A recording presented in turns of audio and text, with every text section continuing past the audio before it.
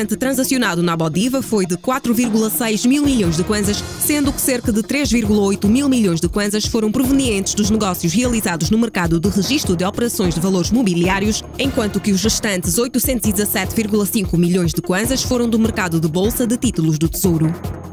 A unidade de gestão de dívida do Ministério das Finanças vendeu cerca de 37,9 mil milhões de kwanzas em bilhetes do Tesouro. A oferta foi feita para as maturidades de 182 e 365 dias, com a procura total a absorver cerca de 76% do montante oferecido.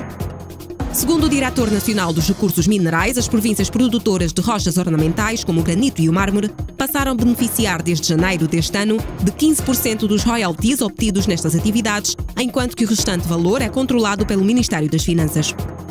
A taxa de câmbio média do Kwanza registrou uma variação, situando-se nos 314,172 para o dólar e nos 357,151 para o euro. Os preços do petróleo voltaram a subir nos mercados internacionais, não obstante o tweet do presidente norte-americano dirigido à OPEP. O barril de Brent teve uma subida de 0,69% para 65,21 dólares. Segundo dados da alfândega da China, o país comprou cerca de 136 mil toneladas de soja dos Estados Unidos da América em janeiro, um aumento de 95% em relação às 69 mil toneladas importadas em dezembro. Este aumento reflete as tréguas no conflito comercial entre os dois países.